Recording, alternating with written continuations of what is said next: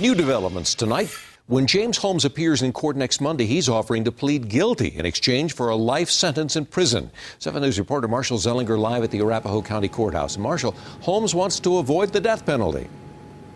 Mike, that's what's spelled out here in this court filing from today. James Holmes hoping the district attorney here in Arapahoe County will not seek the death penalty on Monday. Instead, Holmes is willing to plead guilty in exchange for life without parole.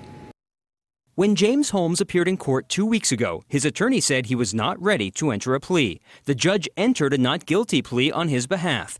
In this court filing, it's revealed prior to that court appearance, Holmes offered to plead guilty for life in prison without parole.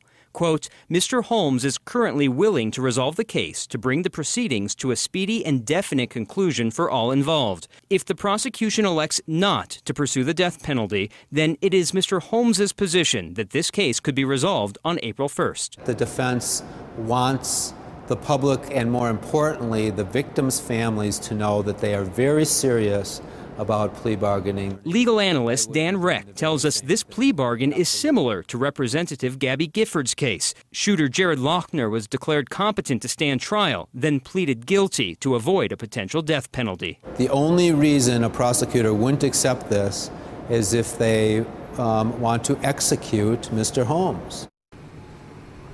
The next time we're here at the Arapahoe County Courthouse is Monday. That's when the district attorney will determine whether or not he's going to seek the death penalty or whether or not he will accept the plea deal.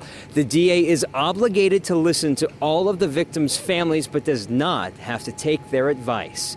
Reporting live in Arapahoe County, Marshall Zelinger, 7 News.